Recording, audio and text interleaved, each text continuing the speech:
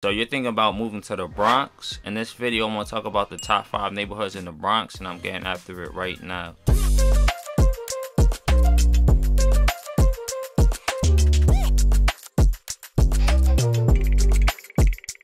If this is your first time to this channel and you wanna know everything about living in the Bronx, New York, then subscribe below, tap the bell for notifications so you can be the first to know about the current market in the Bronx. My name is Cornell Smith with eXp Realty. We get calls and emails every day from people just like you looking for help on making the move to the Bronx, and we absolutely love it.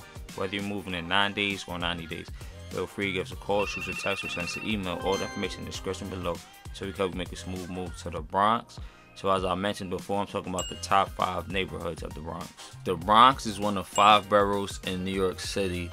The Bronx has a population of about 1.4 million, making it the fourth most populous borough of New York City. In terms of population, it's Brooklyn, Queens, Manhattan, the Bronx, and Staten Island.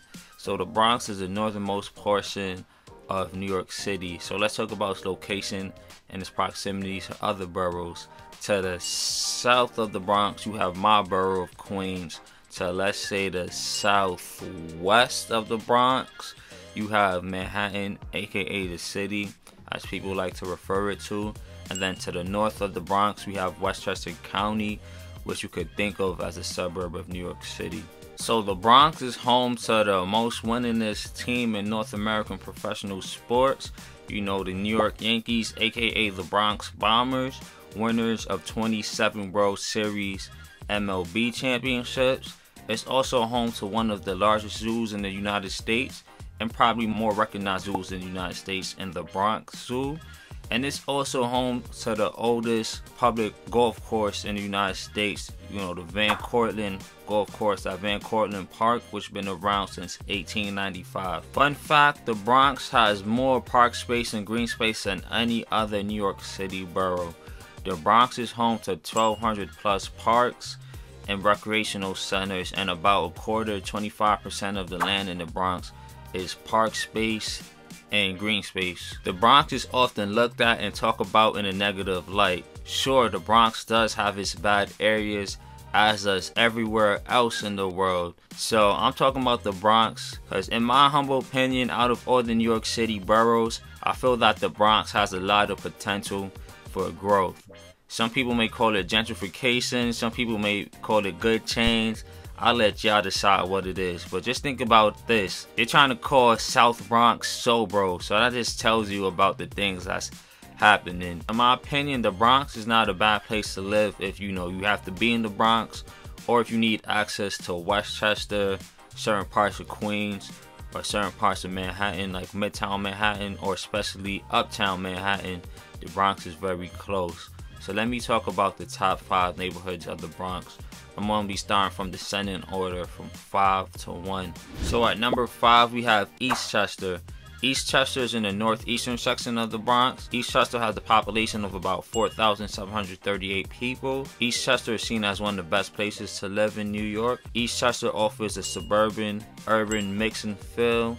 There are many restaurants, coffee shops, and parks in Eastchester. Many young professionals live in Eastchester. Eastchester is about 45 minutes away from Midtown Manhattan. It's about 20 minutes away from LaGuardia Airport and it's about 40 minutes away from John F. Kennedy International Airport. The median home value in Eastchester is $660,500. So housing options range from, you know, co-ops, condos, single family homes, and multi-family homes. The cheapest option is being a $79,000 co-op and the most expensive option being a 1.5 million two-family home. The median household income in Eastchester is $188,585. About 78% of the residents in Eastchester own their home. According to Niche.com, Eastchester is the 54th best New York City neighborhood to raise a family in out of 227 New York City neighborhoods and Eastchester is the 68th overall best New York City neighborhood to live in. Again, out of 227 New York City neighborhoods. And fun fact, funny enough, about five miles from Eastchester in the Bronx, there's a Westchester County community also named Eastchester. So someone from Eastchester is U.S. Congressman Jamal Bowman. So Jamal Bowman was a former principal at the Cornerstone Academy for Social Action in Eastchester. Well, I just want to give a shout out to our teachers and our educators. Salute. This is Eastchester.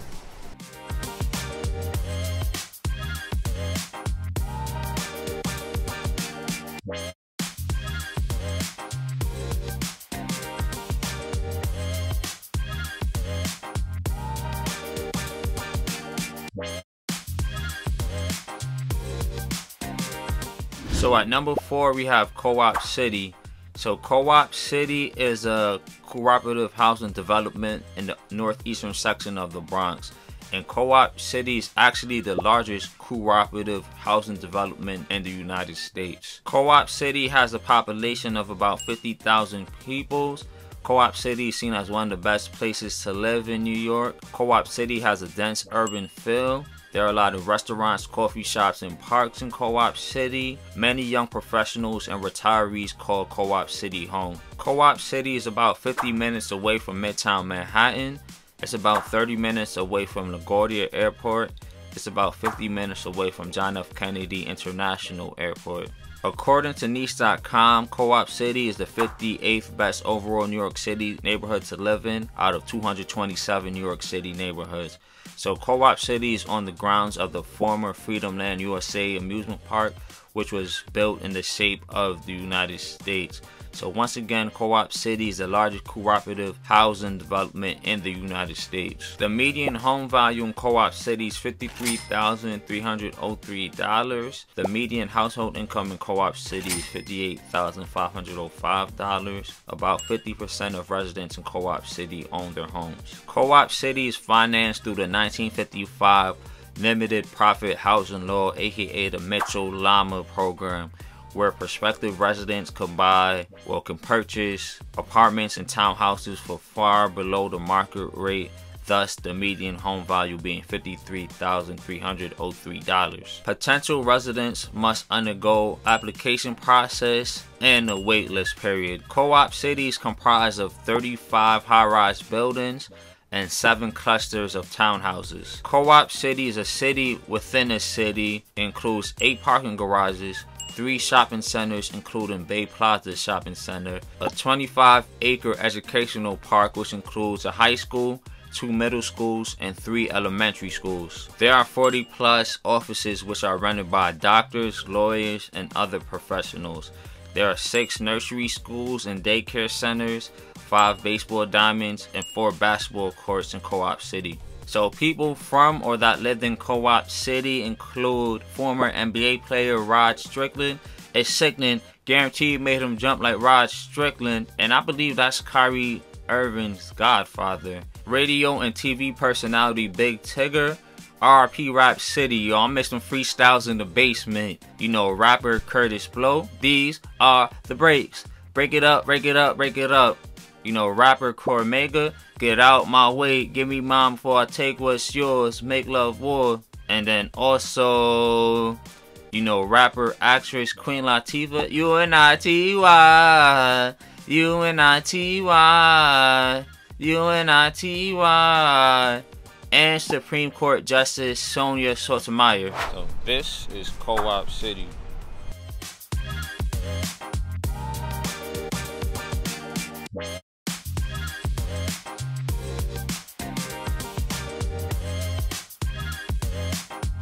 So at number three, we have Fieldston. So Fieldston is a neighborhood in the northwestern section of the Bronx. It's a privately owned affluent neighborhood. I guess you could say that within the Riverdale section of the Bronx. It has a population of about 6,888 people. It's seen as one of the best places to live in New York. Fieldston's about 30 minutes away from Midtown Manhattan. It's about 25 minutes away from LaGuardia Airport it's about 50 minutes away from John F. Kennedy International Airport. The median home value in Fieldston is $425,281. So homing options range from co-ops, condos, single-family homes, and multi-family homes. The cheapest property being like a $160,000 co-op to the most expensive property being a $7 million mansion. Fieldston offers a dense urban feel. There are a lot of bars, restaurants, coffee shops, and parks in Fieldston. Many young professionals live in Fieldston. According to Niche.com, Fieldston is the 30th best New York City neighborhood to raise a family in out of 227 New York City neighborhoods and it's the number 37 best overall New York City neighborhood to live in out of 227 New York City neighborhoods. The median household income is $106,470 and about 49% of Fieldston residents own their homes. Is essentially right next to Van Cortlandt Park. So Van Cortlandt Park is a 1,146 acre park which features, you know, athletic fields, tennis courts, fishing, hiking, horseback riding trails, running track, barbecue areas, etc. Van Cortlandt Park is also home to the Van Cortlandt Golf Course, which is the oldest public golf course recognized in the United States, being around since 1895. This is Fieldston.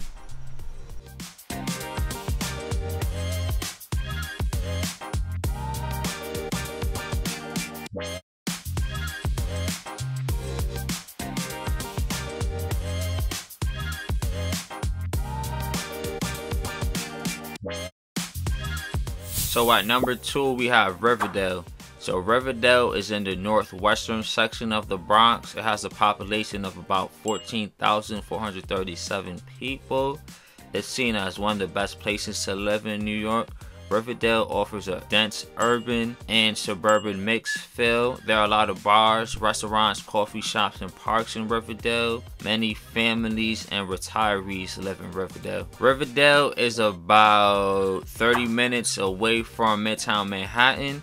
It's about 20 minutes away from LaGuardia Airport and it's about 40 minutes away from John F. Kennedy International Airport. The median home value in Riverdale is $341,000 Homing options range from co-ops, condos, single family homes, and multi-family homes. The cheapest option being a $135,000 co-op to the most expensive option being a 4.5 million one family home. The median household income in Riverdale is $117,506. About 48% of Riverdale residents own their homes. So according to Niche.com, Riverdale is the third best New York City neighborhood to raise a family in out of 227 New York City neighborhoods. And it's also the 25th best overall New York City neighborhood to live in again out of 227 New York City neighborhoods. So things to do in Riverdale. There's the Wave Hill Public Garden and Cultural Center. You know, has flower gardens, an alpine house, greenhouses, and it's a cultural center, a museum without walls, and there's also Riverdale Park, which is 50 forested acres and known to be a haven for birds. If you want to see more of Riverdale, check out my Riverdale vlog. This is Riverdale.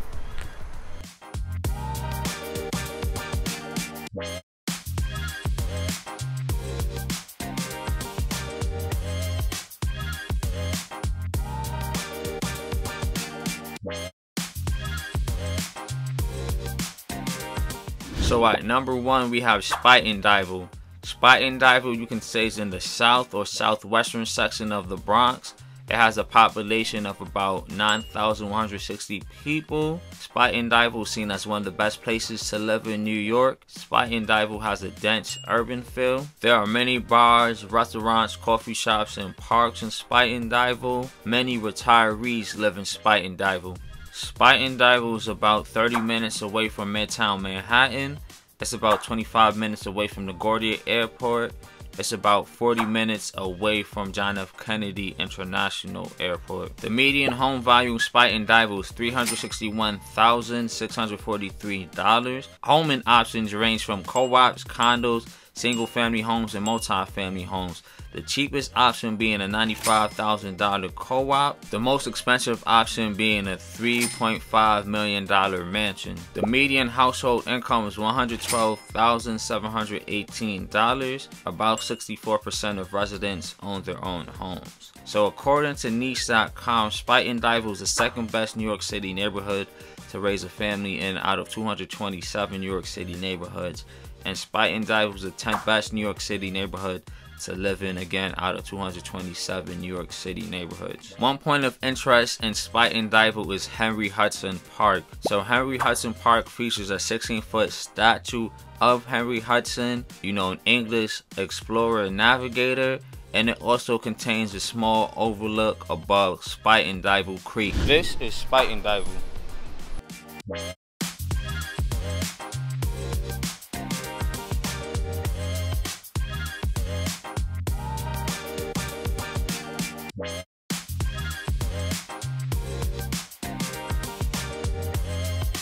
So yes, there you have it. Those are the top five neighborhoods of the Bronx. So those neighborhoods, again, to reiterate, are Eastchester, Co-op City, Fieldston, Riverdale, and Spuyten Duyvil. So two of those neighborhoods are in the northeastern section of the Bronx. Two of those neighborhoods are in the northwestern section of the Bronx. And one neighborhood you can say is in the south or southwestern section so that kind of gives you an idea of, I guess, where you should go if you're looking to come to the Bronx. So yes, and then again, I said this earlier, just my humble opinion, out of all the New York City boroughs, I feel that the Bronx has the most potential so do it that will with that information. So yes, the Bronx is not a bad locale, especially if you want to access to the city, some of the area airports, or if you have, you know, any dealings or have to get to like Westchester or Queens. And speaking of Queens, if you want to weigh your options between Bronx and another New York City borough, you could check out my top five, you know, neighborhoods in Queens video to, you know, check out your options. So yes, if this is your first time to this channel and you want to know everything about living in the Bronx, New York, then subscribe below, tap the bell for notifications so you can be the first to know about the current market in the Bronx. My name is Cornell Smith with eXp Realty. We are calling emails every day from people just like you looking for help on making the move to the Bronx, and we absolutely love it. Whether you're moving in 9 days or 90 days, feel free give us a call, shoot a text, or send us an email. All the information in the description below so you help you make a smooth move to the Bronx. So as I mentioned before, I told y'all the top 5 neighborhoods in the Bronx. Thank you for watching. Have a good one. Hope you enjoyed. Peace.